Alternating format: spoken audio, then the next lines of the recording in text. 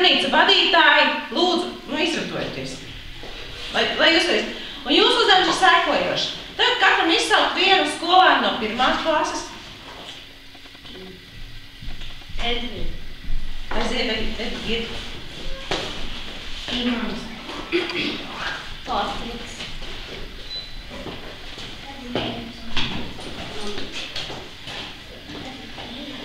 Kristija. Pagaid, vēl nav viss no pirmā, Egils nav izsaucis no pirmās. Visam Patriks. Arnolds. Arnolds arī var stāvot. Patrik, tev jāiet pie Egīli. Droši, droši. Droši. Nu, labi, nākošo Arnolds vēl ir palicis.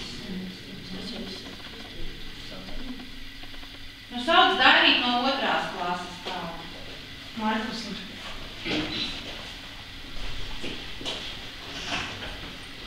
Elīna. Nu, tā arī sauciet, ja? Arī Mārta. Mārtas Ušels.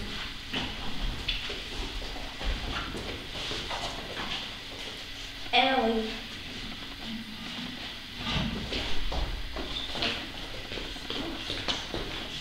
Markus. Jā.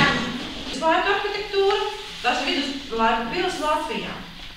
Trīs slānākās pilis, kas ir Latvijā bijušas no viduslaikiem, un viņas atrodās um, gan Kurzemes novadā, gan Vidzemes novadā. Darbnīca būs studēja Irina, studēja Irina, lai izstāstīs, kas tur būs jādara. Mēs veidosim baroka veida dārzu, tad, kad mēs šeit kopā sapulcēsimies, es jums uh, iedošu ieteikumus, kā to dara, parādīšu plānus, un tad jums pašiem būs ar šo uzdevumu jātiek galā. Trešā darbnīca būs pie studējas Evitas. Jā, tātad tur jums būs iespējams izveidot, jūs jau esat arī jau darījuši to, izveidot tātad dažādākas mājas, mājas mazākajiem, jā, un lielākajiem tātad origami tehnikā, un, un šeit būs lielākajiem kirigami tehnikā, tātad ar griešanu, jā. Izveidosiet tādas ēkas. Grupiņa, pirmā grupa pie studējas Irinas Egilda, pirmā grupiņa, otrā grupa Dainis pie studējas Evitas, un trešā grupiņa Kristapa grupa, jā, nāk pie manis. Tad mēs strādāsim tad darbnīcās. Mēs taisīsim baroku. Tad ņem vērā viena krāsā no stundas, tev tikai dažreiz baltais, jā? Latvijā. Es liekas, ka Es saprotu, no maniem. To vajadzēs pašu pēdējā.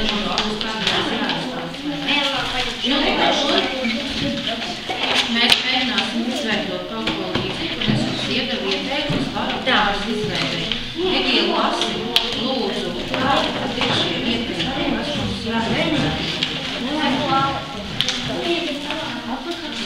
Mums lineāls nepieciešams arī, jā? Lineāls un parastais zīmelis. Nu, Tad ņemam ārā, jā, tās lietas. Lineāli.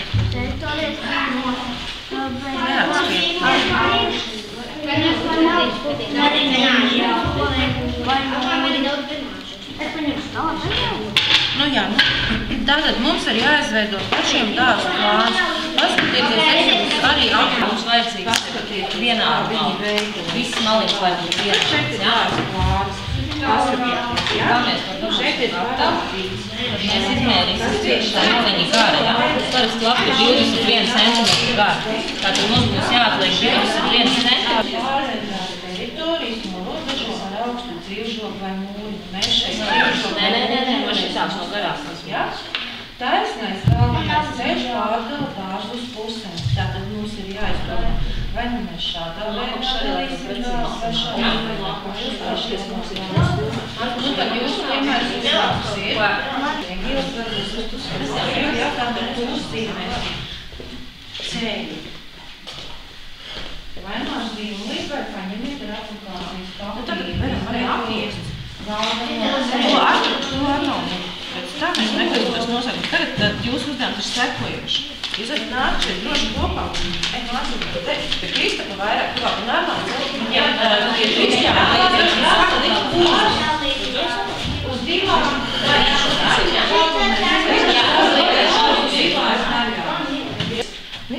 Kad jūs būsiet salikuši, jūs redzēsiet, kas ir atšķirīgs arī mēs apstīsimies viduslaiku pilnīgi. Tieši konkrēti tās ir sastāvāms Latvijā. Mēģināt jau lomā, kā mēs Malacis, meklējam. Mums jāatzīmē tas ceļš, vai viņš pēc ceļa. Gaidi, vai es teiktu. Ja tu zini, kas tā ir pa pildi, tu varēsi arī palīdzēt nosaukumu sameklēt.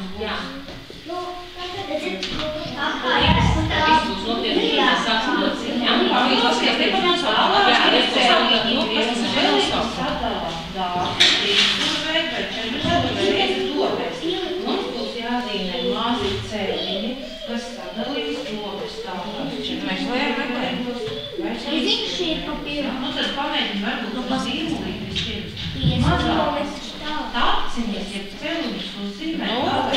Veidot Nav kuldīgs. kuldīgs. No mājas Es biju posms. Būs šeit tāciņu veidot, jā. Raitim arī ir ir papīra. Rīgas pilka. Rīgas Tur Lasījāt, tad nosaukumu varēšu šeit. Rīgas pilītais beigas, jā?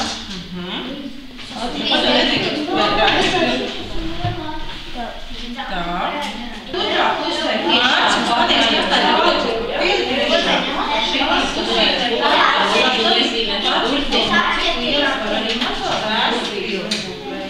Kurā numurā galvenais būs trīs stūrveidi un četri stūrveidi?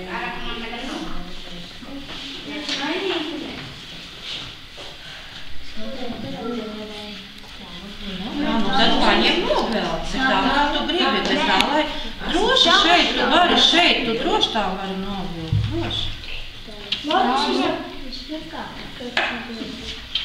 Tā, nu visiem ir nogriezta Ja mēs paskatāmies pagājuši. Tagad mēs ņemsim lapu. Ļoti labi. Kas ir atšķirīgs? Tagad kā, paliec nostūrs nevajadzēs.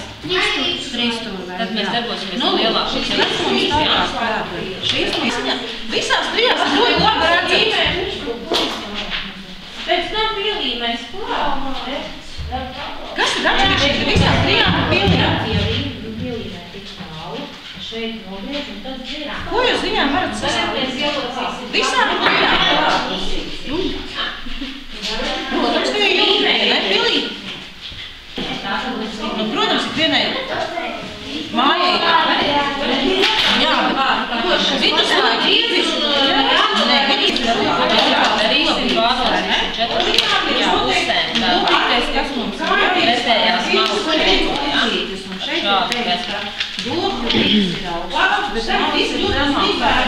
Izkrāsosim tos celiņus un tāciņus, jā, ar aplikācijas papīru salīmējiet. Kārtīgi, kārtīgi noglūd, jā? Nāc salīmē. Nu, pretējās, pretējās puses. Ļoti uzmanīgi. Kas viņam var nākt? Kur jūs varat saskatīt Tad pa šitām te līnijām, jā? Līnijas līnija. Kāpu līmē.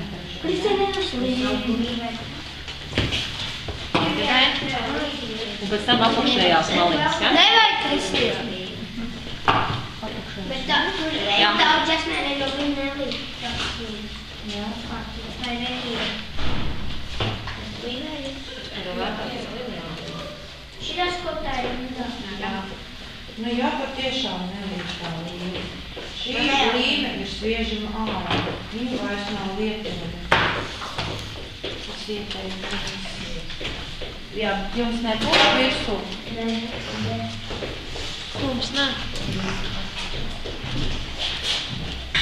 Droši grieziet. Nu, jūs paskatieties tā, lai jums šeit, kad jūs uzlīmēsiet, dar virsū.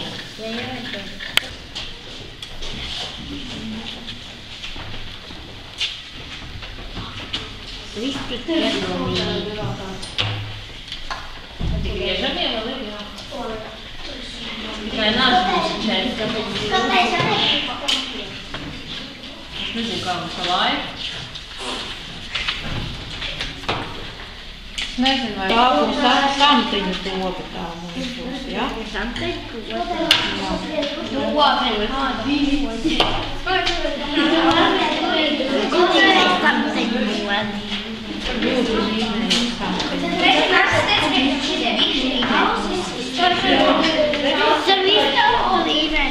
Nu arī tādās sakārtotās ritiņās, nevis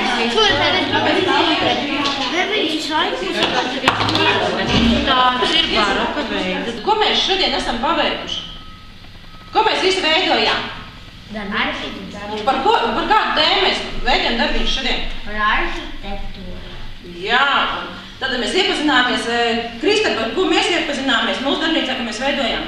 Par senām pilīm. Par senām viduslaiku pilīm. Bērni, ko darīja, ko veidoja? Mēs veidojam Dārs un kas mums pats skaistākā sanāca? Trūkums.